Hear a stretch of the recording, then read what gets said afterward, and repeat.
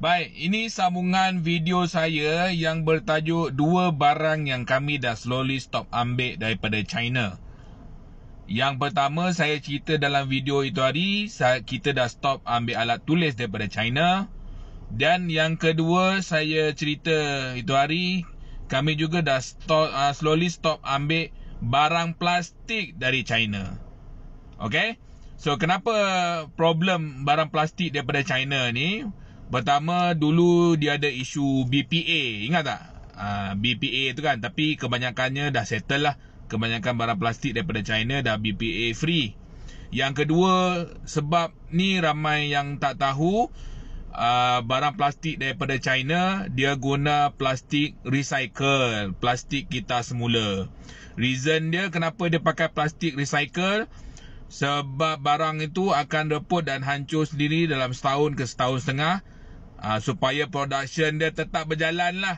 Kalau dia keluar Tupperware boleh terpakai sampai 10 tahun, jahanam dia, jahanam bisnes dia kan. Jadi barang tu akan cepat reput lah, dia ada expired date. So isu dia, bila barang-barang plastik ni digunakan untuk isi makanan, food container ataupun botol air, kita takut membahayakan pengguna ya. Uh, customer return tu tak ada masalah. Kalau return pecah time kat kedai tu tak ada hal. Tapi kalau benda tu hancur, reput, uh, isi, untuk isi makanan botol air, takut bahayalah. So sekarang ni, kami banyak fokus barang plastik daripada Malaysia. Uh, sedikit mahal, tapi dia tahan lama. Okay, so lihat gambar yang di belakang saya ni.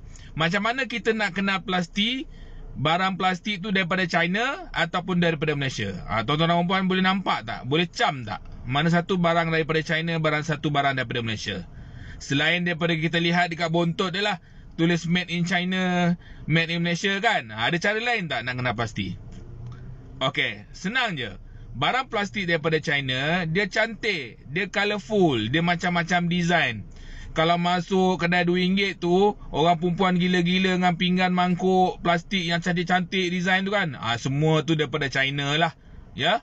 So barang-barang yang cantik Colourful ni Duduk dia dekat rak. Ah, Dia duduk dekat rak. Kalau benda tu duduk dekat rak Kebanyakannya daripada China lah Sebab dia cantik Sedap mata memandang Jadi owner banyak susun dekat rak. Yang Malaysia punya dekat mana? Dekat lantai tuan-tuan puan. Tu nampak? Yang susun dekat lantai tu.